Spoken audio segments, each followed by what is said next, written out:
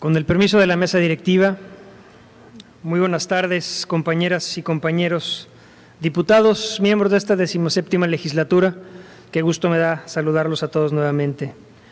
Agradezco a los medios de comunicación que se encuentran aquí presentes y en particular saludo y agradezco a todas las personas que se encuentran hoy aquí en este recinto. Muchas gracias por estar aquí en el inicio de este segundo periodo. Y a quienes nos siguen a través de la página oficial del Poder Legislativo, muchas gracias. La patria es primero. Ayer, 14 de febrero, se conmemoró la muerte de don Vicente Guerrero, un personaje de nuestra historia que combatió sin cesar por la idea de una patria libre, aún enfrentando el peor escenario de la guerra de independencia. Contendió, a pesar de los escasos recursos, con los principales líderes insurgentes muertos, pero fiel siempre a su ideal. El sueño de un mejor país era mucho más importante que el ofrecimiento de una vida cómoda y segura que le otorgaba el gobierno virreinal a través del indulto y un cargo oficialista real. La nación mexicana no existía entonces, la economía se encontraba en ruinas después de los años de guerra. En 1820, la corona española había aceptado de nuevo la Constitución de Cádiz de 1812, lo que debilitaba cualquier anhelo independentista, ya que ofrecía cierta autonomía a los ayuntamientos e igualdad jurídica a españoles y americanos. Pero estos hechos no disminuyeron la voluntad ni las aspiraciones del líder insurgente. Con tenacidad y perseverancia se mantuvo firme, aún en las peores derrotas militares. Sus valores, su creencia en una nación republicana y justa no menguaron. Amaba profundamente a su gente. Pero la historia daría una mayor lección aún.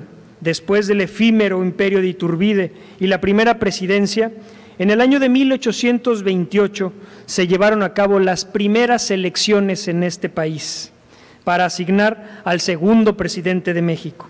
Vicente Guerrero fue candidato y su opositor fue el secretario de Guerra de Guadalupe Victoria, es decir, Manuel Gómez Pedraza. Se enfrentaban por primera vez las logias que darían origen a liberales y a conservadores en este país.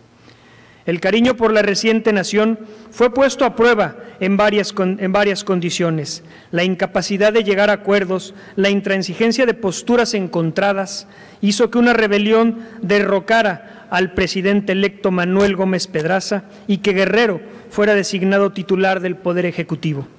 Hubo injerencia de Estados Unidos y la ley fue superada por la política, gracias al intervencionismo de Joel R. Poinsett, ministro plenipotenciario de Estados Unidos en aquel entonces, e iniciaban entonces décadas de luchas internas y de invasiones extranjeras. Vicente Guerrero hizo todo lo posible para hacer un gobierno transformador, en circunstancias muy complejas que incluyen un intento español de reconquista, el intento que fue derrotado, obviamente, el primer presidente afromexicano en procurar un proyecto educativo en México público, el iniciador del reparto agrario de la historia nacional, el que permitió la tolerancia religiosa por el fortalecimiento del sistema federal y que decretó la abolición de la esclavitud. En respuesta a estas medidas, los futuros conservadores se levantarían en armas. Ante la traición, Vicente Guerrero moriría fusilado en 1831.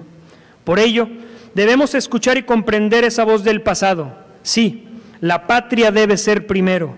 Nuevamente nuestro sistema de justicia debe reconstruirse. La corrupción que tanto daño le ha hecho debe desaparecer. Personajes como Vicente Guerrero se entregaron al país para que nosotros podamos vivir una mejor sociedad.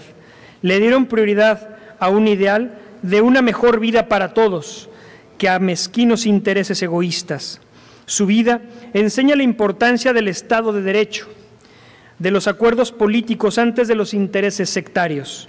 En este momento que escribimos la historia que se contará en el futuro, desde esta honorable decimoséptima legislatura, hacemos un llamado para que cada iniciativa, cada diálogo y discusión sea impulsado exclusivamente por el cariño a nuestro pueblo, a nuestro Quintana Roo y a nuestra nación. Es cuanto. Muchas gracias.